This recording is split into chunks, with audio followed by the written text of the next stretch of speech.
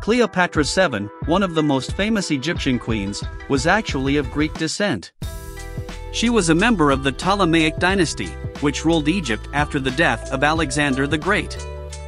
Did you know that?